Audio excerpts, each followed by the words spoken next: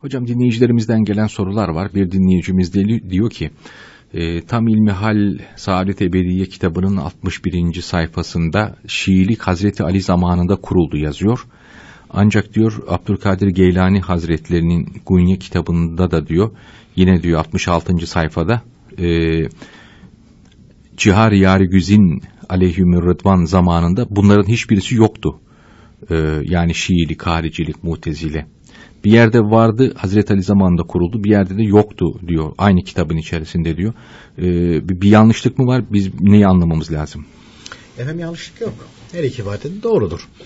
Ee, yani Hazreti Ali radıyallahu anh hazretleri zamanında demek Hazreti Ali radıyallahu anh hazretleri e, Hazreti Osman'ın şehadetiyle beraber e, Halife-i Müslim'in seçilince Eshab-ı Kiram Aleyhimdan Efendilerimizden bazılarının iştihadı Hazreti Ali'nin iştihadı gibi değildi.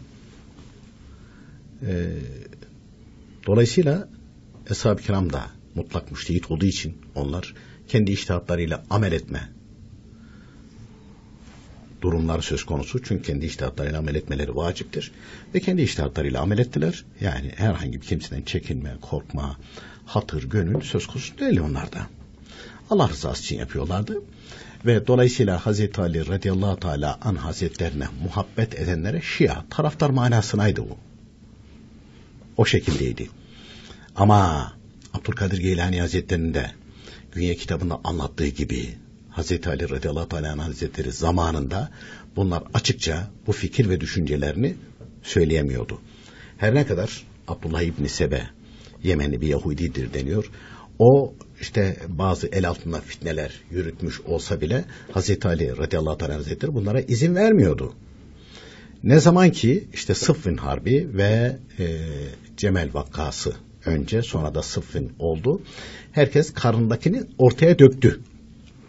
Hazreti Ali'nin şehadetiyle beraber e, ve Şiilik artık e, bir e, inanç şekliyle dizayn edilerek yani kaideler, kurallar konarak e, ortaya döküldü. Fitne olarak ortaya çıktı artık. Evet, fitne olarak ortaya çıktı.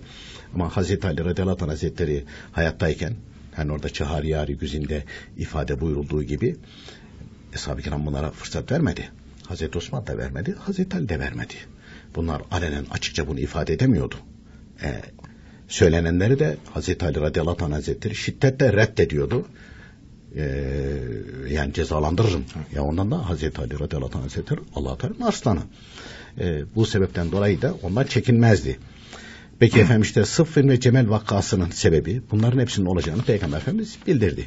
Allah Teala ezelde böyle dilemiş, böyle takdir etmiş. Çünkü bu hadiseler sebebiyle herkes karnındakini çıkardı doğru mu yanlış mı? Bu hadiseler kimin rotasının düzgün olduğu, kimin de yanlış olduğu, mesela yeni İslamiyet'i e, kabul etmiş ama içindekini atamamış, değişmemiş yani. Ondan sonra pat diye bunlar meydana çıktı. Cahil, e, daha önce nefislerine uygun olarak hareket edenler, kendi nefislerine uygun olan tarafları seçmişlerdir. Bugünkü bizim e, bildiğimiz Şiilik, Abdülkadir Geylani Hazretleri'nin Günye kitabında bütün detaylarıyla anlatmış olduğu şeyler Hazreti Ali radıyallahu anh Hazretleri'nin ahireti intikalinden sonra dizayn edildi, çıktı, söylendi, edildi. Ama Hazreti Ali zamanında e, Hazreti Ali safında olanlara Şia, taraftar manasında kullanılmıştı. Sonra bu bir ekol halinde meydana çıktı ve devam ettirildi.